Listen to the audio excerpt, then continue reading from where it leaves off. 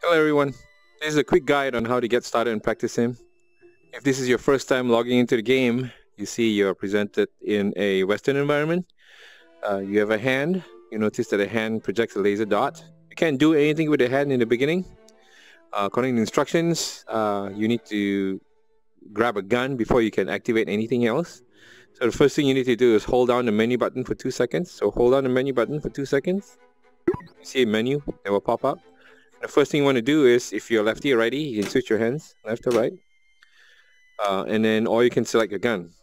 Um, so in this case, you can just scroll through the different types of guns that you want. And then if you're happy with your selection, let's say I want to shoot a CZ, right? And then you can, or you can, uh, depending on your play space, if this doesn't fit your play space, um, the game uh, it's just like all HT. If you're using HTC Vive, this is your forward looking away from your computer position. If this is if you're using Oculus Rift, this is facing your computer. So if this is, if it doesn't fit your play space, you can use the rotate left or rotate right. So for instance, if I rotate right, you see that I'm actually moving the world around me. Uh, this way you can change and customize uh, your place to the game to your play space.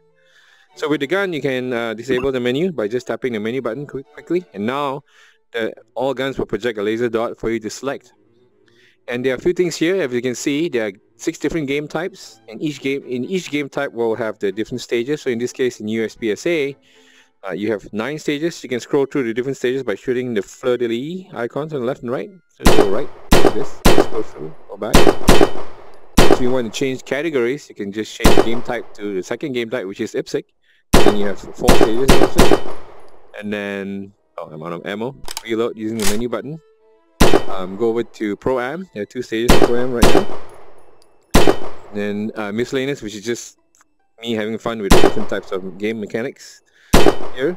The two of them and then steel challenges. There steel challenge. They have uh, eight, all eight official steel challenge stages and then the last one is a uh, training scenario where um, this scenario teaches you shot calling, which is one of the advanced techniques of uh, shooting practical pistol. So we only have one stage here today. You can also shoot the tutorial to start the tutorial mode, uh, and uh, that's it. So there you go. This is how you get started in Practisim.